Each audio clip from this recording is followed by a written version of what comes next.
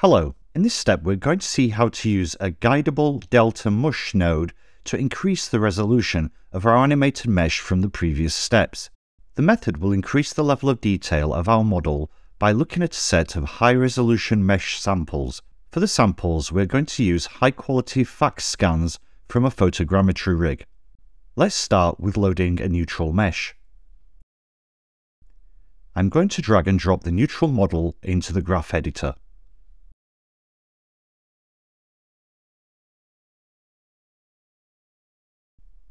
Next we need to load a sequence from the previous step of the processing.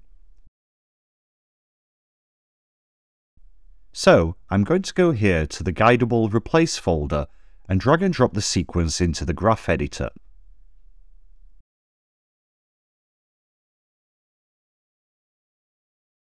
Here you can see the result of the sequence. If I turn off the wireframe for a second, can see that the result is pretty nice, but it lacks some fine skin details.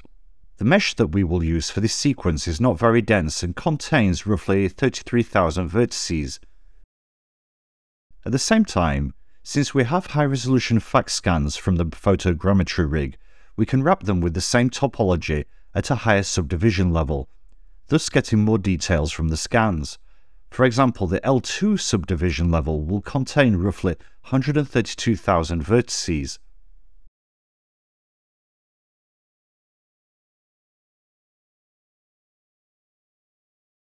So, if we take a look at the L2 subdivision meshes,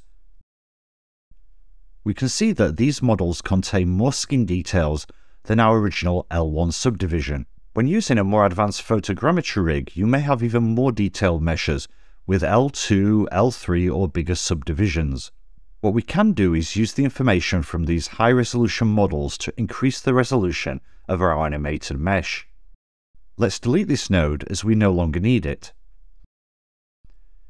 Then let's subdivide our animated mesh from the L1 to the L2 subdivision level.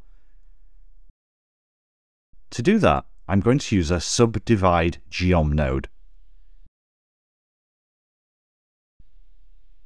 We also need to subdivide our neutral mesh.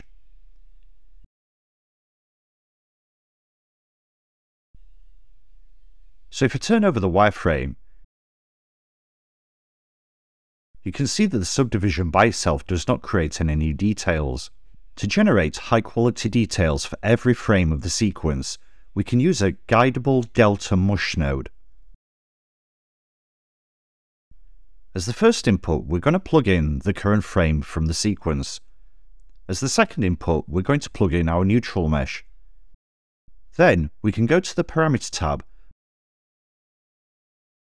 and specify a set of high-resolution meshes that are going to be used as training data. Note that these meshes should have the same topology and the same orientation as the node inputs. As the neutral mesh, I'm going to load in a neutral model at the L2 subdivision level. As a blend shape references, I'm also going to use high-resolution FACS expressions at L2.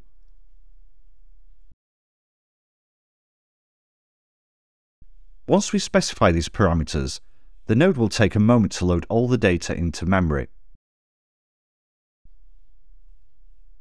Now if you click Compute, the node will automatically predict the high-resolution details for a given frame of the sequence.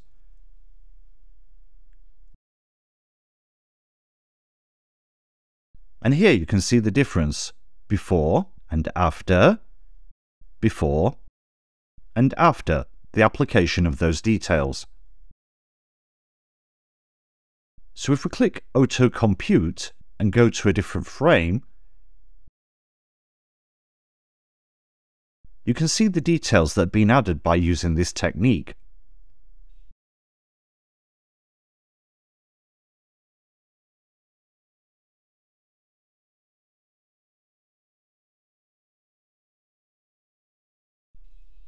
So, that's how it works.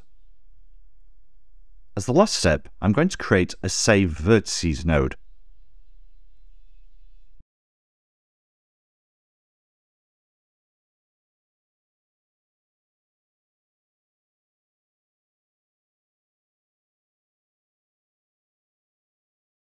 Let's go ahead and create a folder. I'm going to call it Guidable Delta Mush. And let's call the file frame 4 hashes.ply. If we compute this sequence in batch mode, we will see a result like this.